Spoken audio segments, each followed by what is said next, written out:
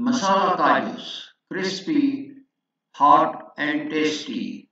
Want to make it at home? Come, let me show you how.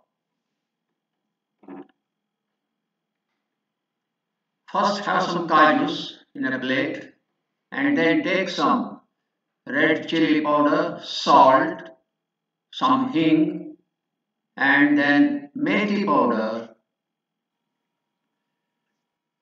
Place the cashew nuts in the microwave oven and start your roasting cycle. But ensure that you roast it only to halfway through. Here I have got a 4 minute cycle. I am reducing it to 2 minutes.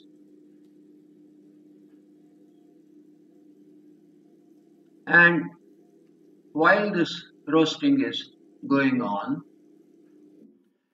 take the bowl with the chili powder, salt, hing and methi powder.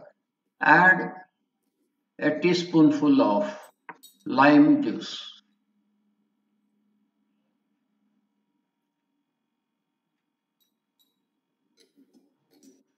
Mix it thoroughly to form a smooth paste.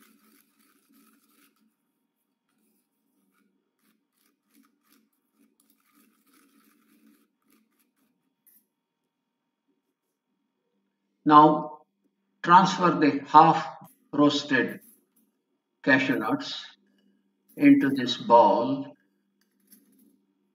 and mix it so that the cashew nuts are coated with this paste of chili powder, salt, hing and methi powder.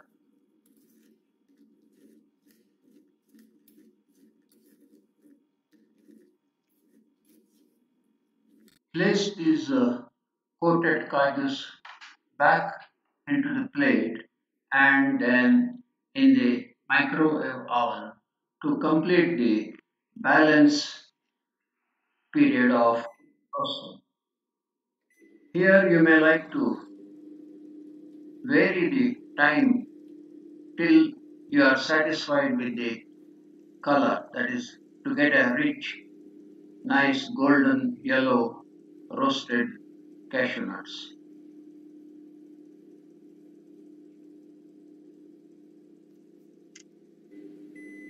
Here I have now completed the cycle. I am satisfied with the color and here you are with tempting masala kajus ready to eat. Of course, allow it to cool a bit to enjoy crispy, tasty masala kajus.